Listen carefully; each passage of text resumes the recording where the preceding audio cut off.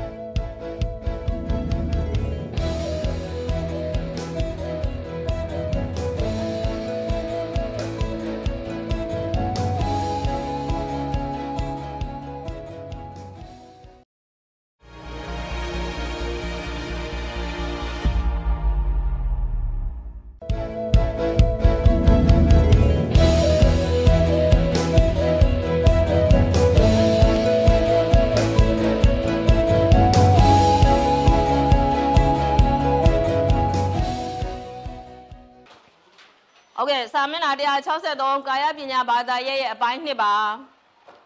အဲ့မှာအပိုင်း2ရဲ့1ပေါ့ကျောင်းသုံးဆောင်နဲ့ဆရာလမ်းညွန်ဖွဲ့စည်းပုံကိုလေ့လာခြင်းပိုင်းပဲဖြစ်ပါတယ်ဒီပိုင်းရဲ့ရည်ရွယ်ချက်ကတော့စတုထရမ်းမှာဆရာလမ်းညွန်နဲ့ကျောင်းသုံးဆောင်အသစ်ဖွဲ့စည်းပုံကိုနားလည်သဘောပေါက်ရန်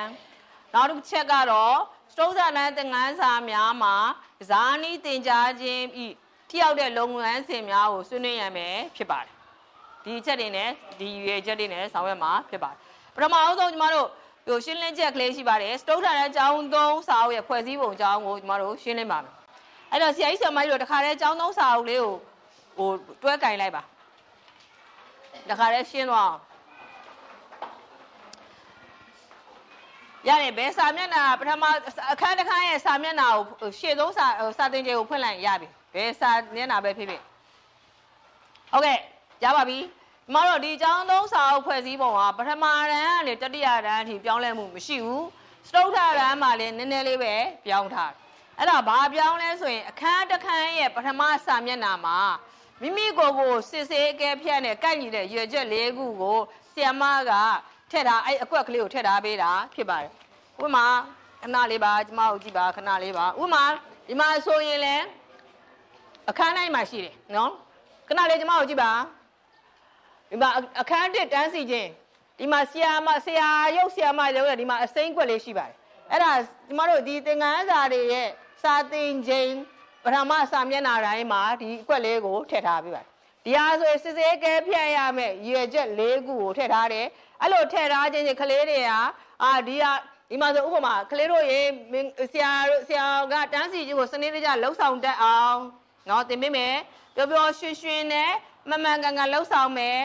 ဒီလှုပ်ရှားမှုတော့နားလေသဘောပေါက်ရှင်းပြတတ်ရမယ်လေးခုစလုံးမပါပါဘူးလားကျမတို့ခုနကချမှတ်တာ level ကြီးလေးခုစလုံးကိုပါသွားတယ်ဒါဆိုဒီလိုပြောလိုက်ခြင်းအားဖြင့်ဆီယမဒီလိုပြောလိုက်တဲ့ခါမှာကလေးတွေဟာငါတို့ဘာတွေဘာတွေလုပ်ရမယ်ဆိုတော့သူတို့သိမသွားဘူးလားသိသွားရဆိုငါတို့ဒီသင်္ကားစာဆုံးဆိုင်ဒါတွေကိုသူတို့ရသွားရမယ်ဆိုလေသူတို့သိပါဆရာပြောပြောတယ်ကလေးလည်းသိတယ်ဆရာဒီချက်တွေကိုသူတို့လုပ်ရမယ်ဆိုတာကိုကလေးကသိသွားဆိုဒီစတုဒ္ဒရမှာတရားလေးဟာကျောင်းသုံးစာအုပ်ရဲ့ထည့်ထားတဲ့ အဲ့တစ်ချက်တစ်ချက်ပါကျန်တာတွေကတော့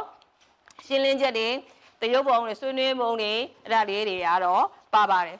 သင်္ကန်းစာပုံစံတရုပ်ပြမယ်ဆွေးနွေးမယ်ရှင်းလင်းချက်ပုံစံလေးတွေလည်းပါပါတယ်ရပါပြီနော်နောက်စတုထရန်ဆရာလမ်းညွန်လေးကိုဖွင့်လိုက်ပါမယ်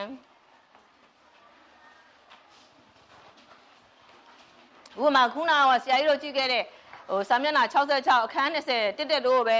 ဖွင့်လိုက်လေရပါတယ်ဒီပိသင်္ကန်းစာတွေမှာလည်းရှိပါတယ် အခန်း30တက်တက်တို့သုံးခွက်တန်းကစားနည်းပေါ့နော်အဲ့မှာရှိပါတယ်နော်အဲ့မှာဆိုလေကျမတို့စတုထရန်ဆရာလမ်းညွှန်မှာဆိုရင်လေပထမရန်ဒုတိယရန်တတိယရန်နဲ့တိတ်ပြီးတော့ပြောင်းလဲမှုတိတ်မရှိပါဘူးတခုပဲပြောင်းလဲတာစတုထရန်မှာပြောင်းလဲမှုနည်းတွေပဲရှိတယ်အဲ့ဒါဘာလဲဆိုရင်သတိပြုရမယ့်အချက်နော်ပထမရန်ဒုတိယရန်တော့တတိယရန်သတိပြုရမယ့်အချက်တွေကိုတခြားအချက်တွေရောထည့်ထားတယ်အဲအခုဒီမှာဆိုရင်ကျမတို့ဆရာကြီးဆရာမကြီးတို့တွေ့ပါတယ်ပဲအခုဒီ အခန်းနဲ့ဆက်ပါပဲဖြစ်တတိပြုရမည်အချက်ဆိုပြီးတော့အောက်မှာအကွက်လေးနဲ့မတွေ့ဘူးလားတီးကြထည့်ထားတာလေးကပါပါတယ်ဒါဆရာလမ်းညွန်ရဲ့ဒါစတုထလမ်းမှာထည့်ထားတဲ့ဟာလေးကိုပြောကျန်တာတွေကတော့ပထမရန်ဒုတိယရန်တတိယရန်နဲ့သိပြီးတော့မချားနာပါဟုတ်ကဲ့ပါရပါပြီလားရပြီကျမတို့164ကိုသွားပါပဲစာမျက်နှာဆရာရပါအဲ့တင်နန်းလက်ဆွဲရ164 ကျမတို့ဗီဒီယိုသင်ခန်းစာကိုကြည့်ပြီးသွားပြီဗီဒီယိုသင်ခန်းစာကြည့်တော့ကျမတို့စာသင်ချိန်နှစ်ကိုကြည့်ထားတယ်အခုဗီဒီယိုသင်ခန်းစာမကြည့်ခင်မှာဆရာလမ်းညွှန်လေ့လာသလိုပဲကျမတို့အခုဘာကိုကြည့်မလဲလေ့လာမလဲဆိုရင်အဲ့ခုနပုံစံအတိုင်းပဲခုနသုံးဝက်တန်းကစားနည်းရဲ့စာသင်ချိန်တစ်ကိုလေ့လာပါမယ်စာမျက်နှာဆရာလမ်းညွှန်ရဲ့စာမျက်နှာ66ကိုလေ့လာပါမယ်ဆရာလမ်းညွှန်သုံးဝက်အခန်း20သုံးဝက်တန်းကစားနည်းစာသင်ချိန်တစ်ကိုလေ့လာပါမယ် ပထမတူးချင်းလေ့လာပါမယ်ဟုတ်ကဲ့ပါဆရာကြီးဆရာမကြီးတို့လေ့လာလို့ပြီးပါပြီလားအခုတူးချင်းလေ့လာပြီးပြီဆိုတော့အခုအစစ်နှစ်အနေနဲ့အုပ်စုလိုက်ခုနလိုလေ့လာမယ်လေ့လာတဲ့အခါမှာဗာလေလေ့လာမလဲဆိုရင်စာတင်ချင်းဒီချိန်ရဲ့ရည်ရွယ်ချက်တို့သင်ကြားသင်မှုလုပ်ငန်းစဉ်ရုပ်ပုံများနဲ့ပတ်သက်တဲ့ရှင်းလင်းချက်စစ်ဆေးကဲဖြတ်မှုအဲ့ဒါတွေကိုအုပ်စုတွင်းမှာဆွေးနွေးပါမယ်ခုန၄ရောက်အုပ်စု၃ရောက်အုပ်စု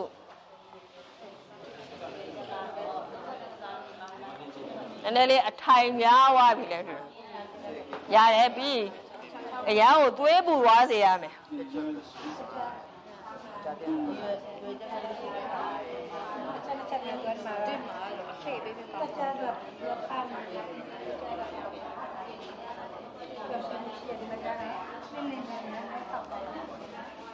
ဇက်ရက်ဩပစားပါ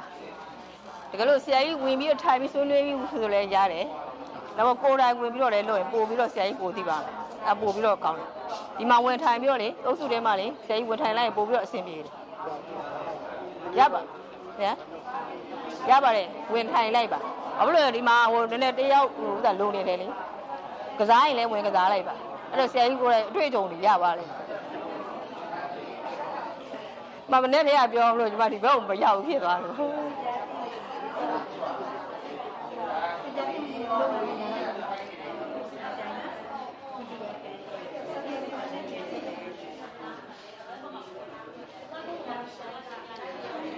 ဆရာကြီးတကယ်လို့လာမယ်ဆိုဒီအုပ်စုမှာလေ3ယောက်ပဲရှိတယ်ဒီဘက်အုပ်စုကိုပေါင်းလိုက်ရင်4ယောက်ဖြစ်သွားမယ်ခုံလေးနည်းနည်းတော့ရွှေ့ပြတယ်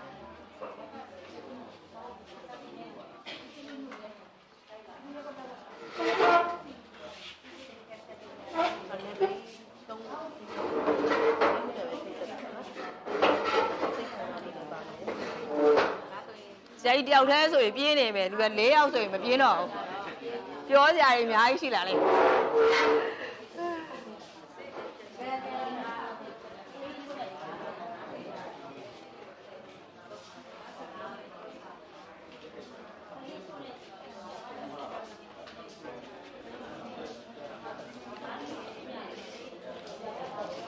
ဟုတ်ကဲ့ပါဆွေးနွေးပြီလို့ထင်ပါတယ်ဟုတ်ကဲ့အဓိကအချက် အခုဆွေးနွေးပြီးွားပြီဟုတ်ကဲ့ပါဆရာကြီးဆရာမကြီးများတစ်ချက်လောက်ကျမကိုနားထောင်ပေးပါတဒန်းအခုဆွေးနွေးပြီးဆိုရင်ဟိုအုပ်စုလိုက်ဆွေးနွေးပြီးွားပြီနော်ခုနကတော့စာသင်ချိန်ကလည်းလေးလာပြီးသွားတဲ့တစ်ယောက်ကျမနော်အခုအဆင့်3ကိုသွားလိုက်ပါမယ်အခုကဘာလို့အောင်မလဲဆရာကြီးဆရာမကြီးတဒန်းလုံးနဲ့ဆွေးနွေးရဘာလို့ဆွေးနွေးရမလဲဆိုရင်နံပါတ်1အနေနဲ့ကနံပါတ်1ကိုပဲဦးစားပေးဆွေးနွေးမယ်ခုနနံပါတ်2ကဆရာကြီးဆရာမကြီးတို့ခုနအခက်အခဲတွေပြောပါပြီ ထူးခြားတဲ့အခက်အခဲရှိရင်တော့ပြောထူးခြားတဲ့အခက်အခဲရှိရင်ခုနအတိုင်းပဲဆိုရင်တော့နောက်ကျရင်ဖြည့်ရှင်းပြီးသွားဖြစ်သွားလိမ့်မယ်အခုနံပါတ်1ကစာသင်ချိန်1နဲ့2နဲ့မှာဘယ်အကြောင်းအရာတွေကိုအဓိကထားတယ်လဲကွဲပြားဘယ်အကြောင်းအရာတွေကကွဲပြားမှုရှိတယ်လဲစာသင်ချိန်1မှာဘယ်ဟာကိုအဓိကထားတယ်လဲစာသင်ချိန်2မှာဘယ်ဟာကိုအဓိကထားတယ်လဲ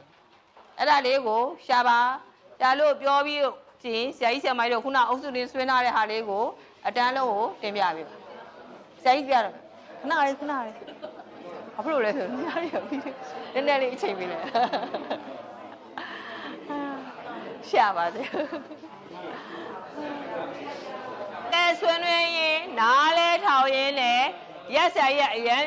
သူကပြောတွေ့ထားပြီတွေ့ထားတော့အရန်ပြောချင်နေပါပြီတဲ့အဲ့တော့ဆရာကြီးကဆွေးနွေးတာကိုကျန်တဲ့လူတွေကနားထောင်ပေးပါ ဟိုရေးမှတ်ထားပါနော်ဟိုမရှိဘူးဆိုရင်ရေးမှတ်ထားပါမှတ်စုဟုတ်ကဲ့ဆရာကြီးပြောပါ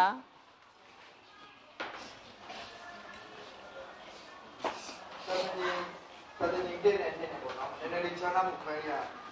ကျွန်တော်တို့စာတင်ကြီးတဲ့ရဆိုရင်ကလေးတွေရဲ့ဒီကစားနည်းကိုသူကနီလန်းပြောတဲ့အစစ်ဒီကစားနည်းရဲ့စီမင်းစီကန်းလေးတွေကိုသိရှိဖို့လေ့ကျင့်သိခြင်းဆိုတဲ့အပိုင်းလေးပါသူကတော့အဲလေ့ကျင့်တဲ့အပိုင်းလေးရဲ့နောက်ပြီးတော့ဒီလှုပ်ဆောင်မှုလေးတွေကိုသူတို့ကသူတို့ကြည့်ရှုလေ့လာတယ်စာတင်ကြီးတဲ့ စာတင်ကြီးနဲ့မှာကျတော့ကျွန်တော်တို့ကစူပေါင်းကစားခြင်းဆိုတာရှင်ပြင်းမှုတစ်ဆင့်ပေါ့သွားတော့ရှင်ပြင်းခြင်းဖြစ်ပေါ့သွားတော့ကျွန်တော်တို့တွေ့သွားတယ်ဟုတ်ကဲ့နောက်တစ်မျိုးတွေ့တဲ့ဆရာကြီးဆရာမကြီးရှိပါသေးတယ်ဟိုမှာထိုးတယ်ဟိုမှာပြောခိုင်းနေပြီအတင်းပြောတယ်ဟိုမှာပြောအာဟုတ်ကဲ့ဒီဆရာကြီးပြည်ကိုဆရာကြီးပြောမယ်လှဲ့ပေါ့ဟုတ်ကဲ့ဒီမှာဆရာကြီးပြောပါမယ်ပါတီကြီးဖြစ်အပိုင်းမှာတော့နေပယ်ကနေပယ် ကွဲပြားမှုတာတင်တင်နေနေပယ်ကွဲပြားမှုတွေပြပါလေဟုတ်ကဲ့ပါတို့တာတင်တင်မှာဆိုလို့ရှိရင်ခံစားမှုဆိုင်ရာကျွတ်တဲ့မှုနေပယ်ဘိုင်းနဲ့ဒီမွေးဆိုင်ရာနေပယ်ဘိုင်းကိုသူစားပေးထားပြီးတော့မှတာတင်နှစ်မှာတော့လှုပ်ရှားမှုဘိုင်းနဲ့သိမှုဆိုင်ရာနားလည်အသုံးချမှုနေပယ်ဘိုင်းနဲ့ကိုသုံးပြီးတော့ဟုတ်ကဲ့ပါဆရာကြီးတို့ဆရာမကြီးတို့ဒီမှာတစ်ခုလေးနည်းနည်းလေးပြောကြတာနော်ဟိုဆရာကြီးရင်ပြောမလား ခုနဆရာမအတင်းထိုးပြနေတယ်လေဆရာအာအတူတူပဲဩအတူတူပဲဆိုရင်နည်းနည်းလေးနောက်ပြောမလို့ဆရာကြီးဆရာမကြီးရှိသေးလားစာရုပ်ကစားခြင်းသူကစလိုက်ပြီဆိုရင်ကလေးတွေကဒီကစားခြင်းကိုဆရာကြီးဆရာမကြီးတို့ဘာလုပ်အောင်လုပ်အောင်မဟုတ်လေကလေးကဒီကစားနည်းကိုအပြင်မှာတယောက်တည်းနေပဲဆိုရင်ဒီကစားနည်းကိုအရင်ဆုံးဘာလုပ်ရမလဲပါဝင်လာအောင်စိတ်ဝင်စားအောင်ဆရာကြီးတို့မလုပ်သင့်ဘူးလားอืม အဲ့ဒါဆိုရင်ဟုတ်ကဲ့ဟုတ်ကဲ့အဲ့ဒါဒီမှာဟိုနည်းနည်းလေးနမူတာလေးပေါ့ဒါဆိုရင်ဆရာကြီးဆရာမကြီးတို့နောက်ထပ်တွေးရှိတဲ့ချက်ကလေးပြောပါအောင်တင်းနဲ့နဲ့နဲ့အများကြီးရှိပါတယ်အဟုတ်ကဲ့ဆရာမကြီးပြောပါမယ်အဲဒီမှာတော့ကစားကြီးမှာကလေးကိုပေါင်းဝင်ကစားပြီးတော့တက်တာပြောချင်းချင်းရတယ်လို့ချက်ပါတယ်ဟုတ်ကဲ့ပါ။ချင်းချင်းချင်းချင်းလို့လည်းအထက်ပြပြီးတော့ပေါင်းဝင်ဆောင်တက်ရမယ်ဆိုတဲ့အချက်ကလေးတွေပေါင်းနေဖြစ်မှာပါပါတယ်။ဟုတ်ကဲ့ပါဒီမှာတော့သူကကစားမျိုးလင်းလင်းမြန်မြန်ပြည့်ပြီးတော့သုံးပတ်တန်းပြီးတော့လှုပ်ဆောင်တက်ရမယ်။နောက်တစ်ချက်ကအဲ့ဒီစီးမင်းတွေကိုလည်းရှင်းပြတက်ရမယ်ဆိုတဲ့ အချက်လေးတွေပါအာဟုတ်တယ်နောက်တော့ဆရာကြီးဆရာမကြီးတွေရှိပါသေးလားရှိသေးတယ်ဆရာကြီးပြောပါစာတင်ချင်းနှစ်မှာကျတော့ကလေးလေးကိုစာရွက်တွေဝေပြီးတော့အဲစာရွက်တွေမှာစကားဇာတ်ကလေးဆိုတော့တို့အုပ်စုအတွင်းမှာပေါ့နော်လက်တွေ့ဟိုမကစားရင်လောက်ခိုင်းမကစားရင်လောက်ခိုင်းတယ်အဲ့ဒါဆိုရင်မကစားမီလောက်ခိုင်းတယ်ဆိုတာအဲ့ဒါဘာကြောင့်လောက်ခိုင်းတယ်ဘာလို့သိစေချင်လောက်ခိုင်းတာဇာနီကိုကျွမ်းကျင်ရလို့ဖြစ် ဘာကိုလောက်ခိုင်းတယ်လဲဟုတ်တယ်နီးပရိယေကိုသိစေချင်လို့မဟုတ်လား